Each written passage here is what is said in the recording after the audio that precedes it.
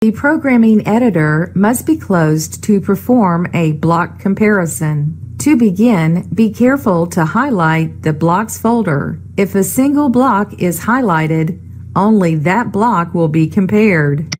Select the Options menu and choose Compare Blocks. You can also right-click on the Blocks folder and choose Compare Blocks. You have the option to include system data blocks, which would be the hardware configuration to compare only to see if the timestamps are the same, or the default, which is to execute a code comparison of the blocks. We're going to execute a code comparison. Click Compare. SIMATIC Manager then runs a block-by-block comparison. Data blocks will almost always show in the comparison because the actual values are changing. To omit the data blocks, place a check in the box Hide data blocks with different actual values.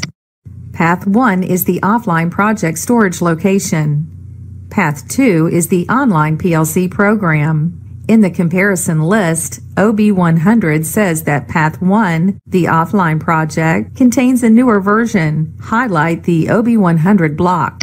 If you would like to see a description of differences, click the Details button. The Details window shows timestamps, interface changes, size, length changes, and so forth. Click the Close button. Make sure that OB100 is highlighted and click the Go To button. This opens a detailed side-by-side view of the blocks. The offline block is on the left and the online block is on the right. If you look in the comparison tab at the bottom of the program editor, it tells you that in network 1 of this statement list code, the offline block contains the command less than or equal to as integers, while the online block contains the command equals equals, which means equals to as integers. The second line in the comparison tab says that network 2 of the offline block contains the command greater than or equal to as integers, while the online block contains the command equals equals as integers. We would now decide which block is correct and sync the two with the download if the offline block is correct or close the offline block and perform a save to transfer the online block to the blocks folder. Close the programming editor. In the comparison list, FC3 is also newer in the offline version. Highlight FC3 and click the Details button if you want to see a description of the changes. Here you can see that the offline block size is smaller than the online block size. Close the Details window. Click the Go To button. In the Comparison tab at the bottom of the Programming Editor, Network 3 in the offline block shows an operator of greater than or equal to 1.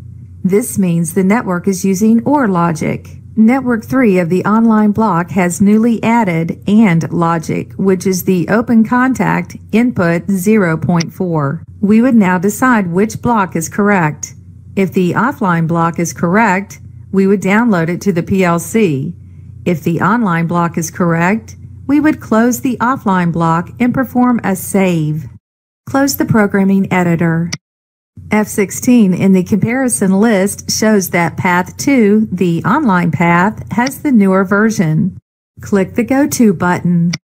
In the Comparison tab at the bottom of the programming editor, you can see that Network 4 in the online window has the added address M87.5.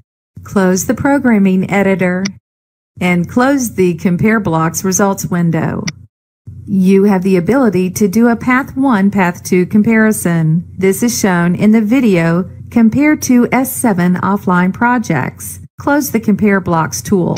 This concludes the video Compare S7 online project to offline project.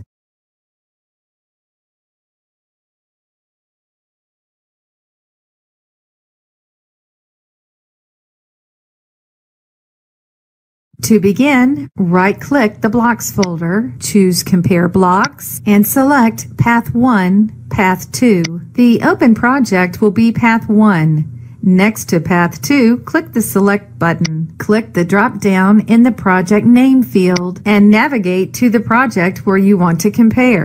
We will select My underscore backup underscore project. Navigate down to the Blocks folder of the project.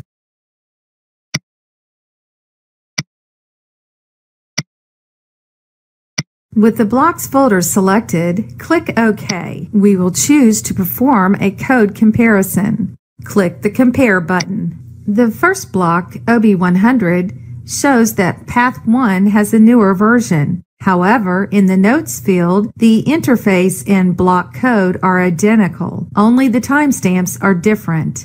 This means that Path 1 was saved after Path 2. Perhaps a change was made and then reversed. Also notice the Go To button is grayed out because there's no difference in the code. The icon next to the result shows a yellow box over a green square. The yellow box indicates a timestamp difference and the green square means the code is the same. You can click the Help button to see more icons and their meanings. Click the Details button to see a description of the differences. The block in Path 1 shows a much newer timestamp than Path 2, but everything else is the same. Close the Compare Blocks Details window. The icon next to the FC3 block is a yellow box on a red square. The yellow box means there's a timestamp difference, and the red square means there's also a code difference. Select the FC3 block. The Note window confirms that the code blocks are different. Click the Details tab only if you wish to see a description of the differences. The Path 2 block is larger. Click the Close button. Click Go To. The Comparison tab at the bottom of the programming editor shows that in Network 1 of Path 1, the timer is an extended pulse timer, whereas the timer in Network 1 of Path 2 is an off delay timer. The second statement in the comparison window shows that network 2 of path 1 is identical to network 3 of path 2. This means a new network 2 has been added to the path 2 project. Close the compare blocks results window and close the compare blocks window. This concludes the video on comparing two S7 offline projects.